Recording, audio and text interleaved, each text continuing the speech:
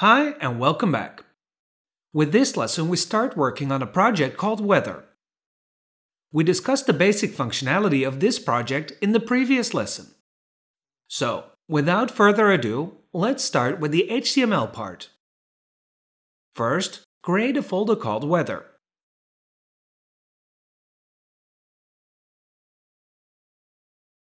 Then open this folder in Visual Studio Code.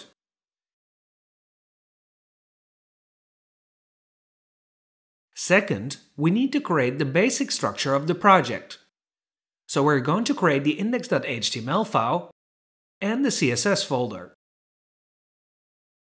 Inside of this folder, we create a file called style.css. After that, we create a folder called JS. Inside of this folder, we need to have a file called script.js. In the attachment to this lesson, you will find this folder, which you see on the screen. Just download it. When you open it, you will see two other folders called Fonts and Images. These are the fonts that we need for the project. And here are the images of the project. So copy these folders and paste them into the project.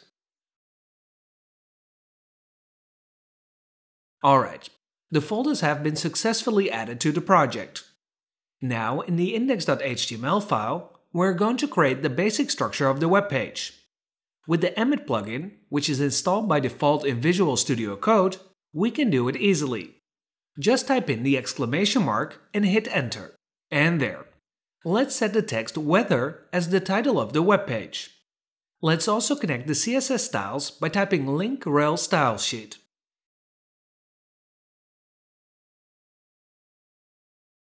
To connect the JS file, before the closing body tag, we type in script src equals to js slash script.js.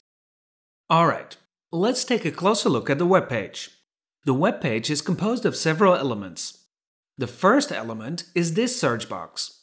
So we create a div with the class weather.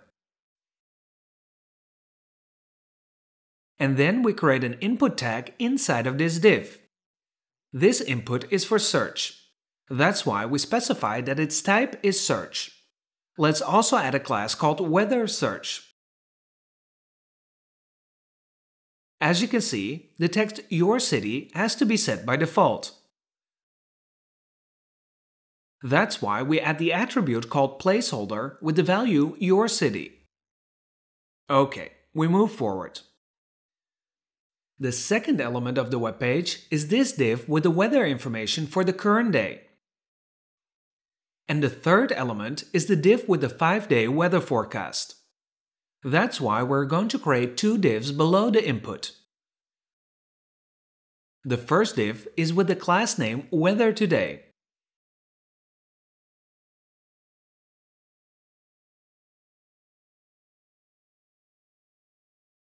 And the second div is with the class called weather forecast.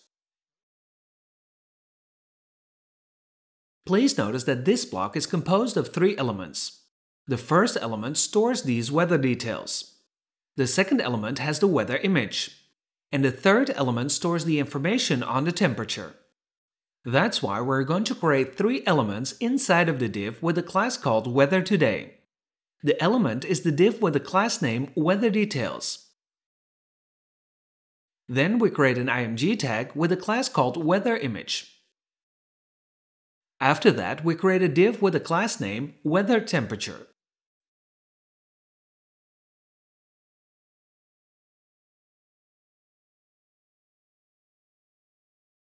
As you can see, in this block, there is a heading with the name of the city.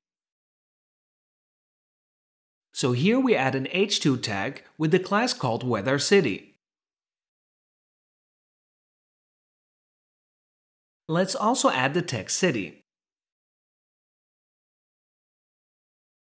Then comes the weekday. That's why we add a p tag with the class called weather day. As the text, let's add the word day. Then comes the block with the information on humidity, wind, and pressure.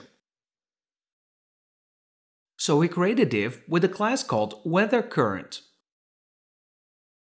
Inside of this div, we're going to create three p tags with the class name weather indicator.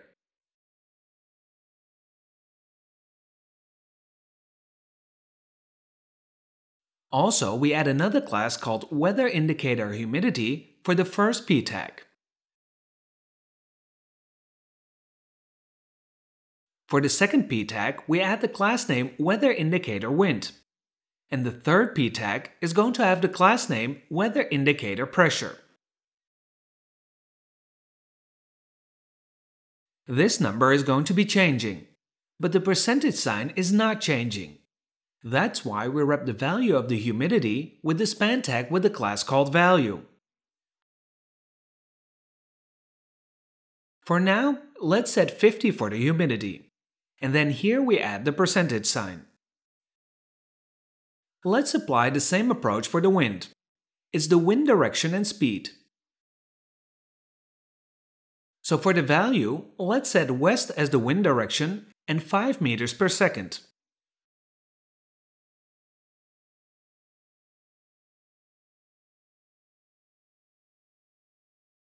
Of course, we need to add meters per seconds outside of the span tag. Then the pressure. Again, we apply the same approach and for the value of the pressure, let's set 1050. Outside of the span tag, we add HPA. The images will be changing with the help of JavaScript. For now, let's set any image. For example, this one called clearsky.png. So we add images slash clearsky.png. Let's set clear sky for the alt text. Now we need to add the value for the temperature. As you can see, first comes the number and then come two signs. So we're going to wrap the value with the span tag, for example plus 25. Then to add the degree sign, we add this special symbol and then we add the capital letter C.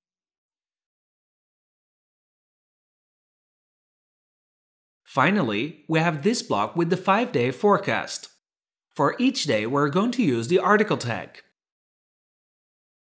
So we create the article tag with a class called weather forecast item.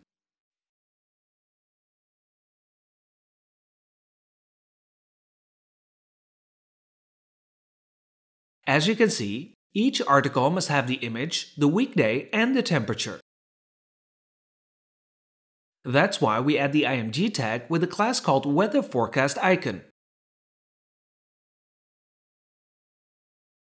For now, let's set this image. Later on, when we connect the API, the images will be changing.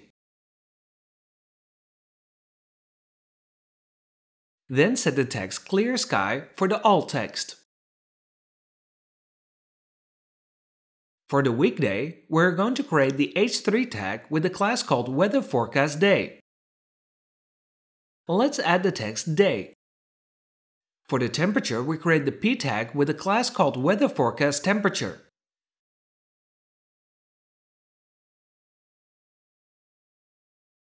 Let's copy this span tag and paste it here. Since we must have 5 articles, let's copy this article and paste it 4 times below.